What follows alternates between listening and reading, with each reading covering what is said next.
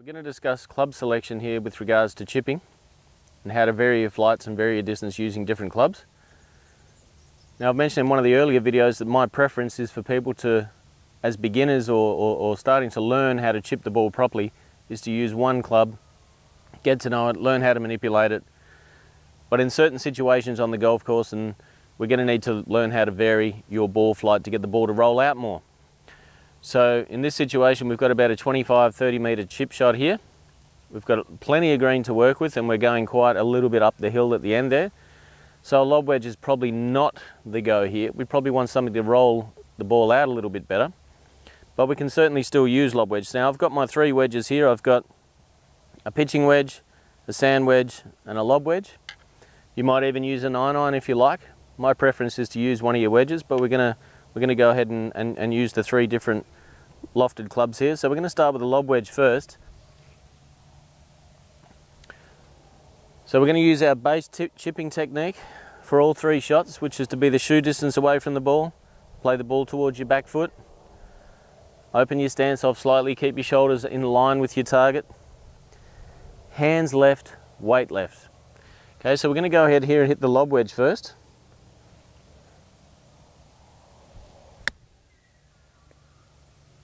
Okay, so that's gone up the hill, taken a little bit of spin and then stopped, which we would imagine it would, being a lob wedge, it's going to spin the ball a little bit too much.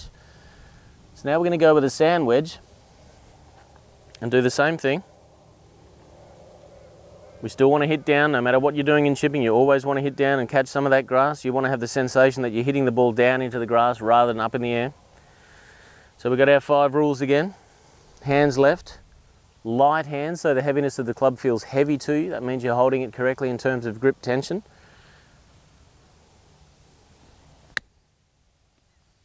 So there goes the sand wedge. That skipped past that first ball. I'm getting a little closer now. Certainly went lower than the first one. Now I'm going to go with my pitching wedge here. My pitching wedge is a 48 degrees. Now there's some wedges out there these days that are a lot longer, a lot, a lot uh, less loft, 46, 45 degree pitching wedges. They're really old school 9 irons. Same thing here, we're just not going to need as big of a swing, so we're still following the same five rules. Ball off the one shoe distance from the ball is the distance we're going to stand. Place the ball off your back foot, slightly open stance, shoulders straight. Hands left, weight left.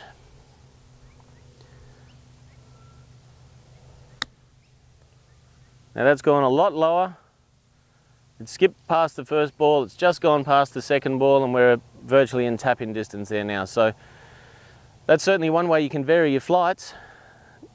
You will need to practice that quite a bit so that you've got fresh in the end of your fingers what's going to happen. What kind of a flight am I going to get out of my lob wedge? What sort of a flight am I going to get out of my sand wedge, keeping things the same? What flight am I going to get out of my pitching wedge, keeping things the same? And in this particular instance, the pitching wedge worked out better because we've got quite a distance to go and we've got some uphill to get to.